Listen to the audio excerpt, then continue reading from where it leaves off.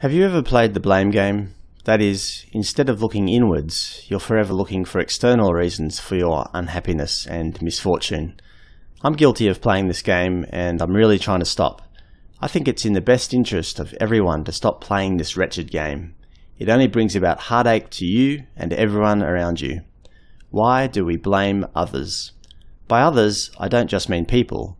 We could blame the situation or circumstances. Some people can't help but to find someone or something to blame when something goes wrong. But why do we do this? Here are some reasons. 1. Defense mechanism. Blame, mistakenly, feels like a great way to maintain our sense of self-esteem. By blaming others, we cover up our own potential flaws or failings. It's a way to hide the fact that maybe we are the true culprit, but don't want to admit it to ourselves. Psychologists refer to this as attribution, for example, a person walks down the street and slips on some leaves. Instead of blaming themselves for being clumsy or inattentive, they instead curse at the house nearby, shouting, Why didn't the owners sweep up the leaves outside their house? A real life example. My friend's wife left a saucepan on the stove and burnt the potato to the bottom of the pan. Instead of accepting responsibility, she immediately lashed out and blamed her husband for not helping out enough around the house. 2. Attack. Sometimes when we are angry, instead of admitting our own faults, we blame our partners or friends for our feelings of distress. By hurting our partners, we irrationally think this will somehow make us feel better about ourselves, or at least make our partners feel as bad as we do. Psychologists refer to this behavior as destructive conflict. Both parties resort to retaliation and getting even. This results in a negative spiral where neither party actually benefits. Major conflicts around the world, such as the ongoing Israeli-Palestinian conflict, are examples of such behaviour. 3. It's easy. Sometimes blaming others feels like the easy option. Admitting that we have a problem and then changing ourselves so that we don't continue the negative behaviour can be quite difficult. Imagine a person who is long-term unemployed. They might blame the bad economy or the government for not providing enough job opportunities, but all the while they're sitting on their couch watching TV and getting angry at the world. 4. Illogical judgments. Humans are notoriously good at leaping to illogical conclusions. It's hard for us to see that we are really at fault. I went camping with one of my friends at school. We were in the bush and stumbled upon a rope swing on the edge of a small creek. He immediately grabbed hold and swung into the river, smashing his leg on some hidden rocks below the surface. His first response was, why would somebody put up a rope swing over an obviously dangerous location? He probably should have asked, why was I stupid enough to use a rope swing that I've never seen before? 5. Dishonesty. Sometimes people know damn well that they're at fault, but even so, they look for someone to blame.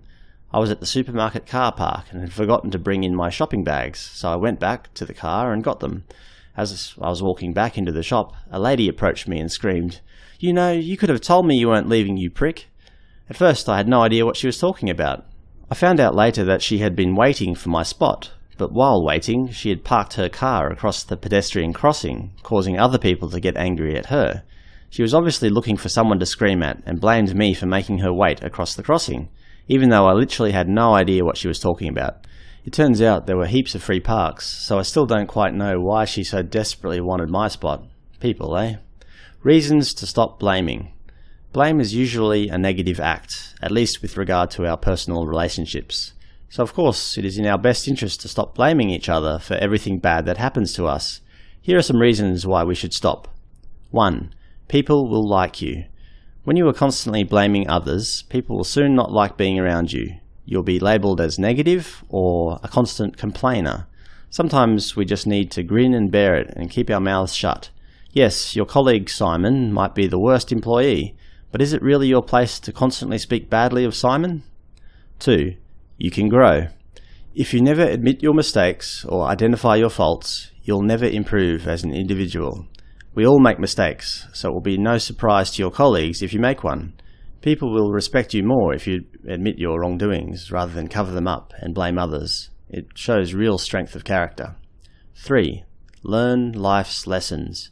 Buddhists believe that everything negative that happens to us is there to help us learn. If you don't learn from these little lessons, life will continue throwing the same lessons at you until you do. At least in my life, I know this to be fairly true. One of my old bosses was overly demanding and ungrateful. I quit my job only to find that my new boss was even more demanding and ungrateful. After a bit of soul searching, I realised the problem was with me. I rarely ever have any problems with my current bosses. Yes, multiple jobs. The key is to just admit my flaws and mistakes, and they appreciate me more. 4. Empowerment.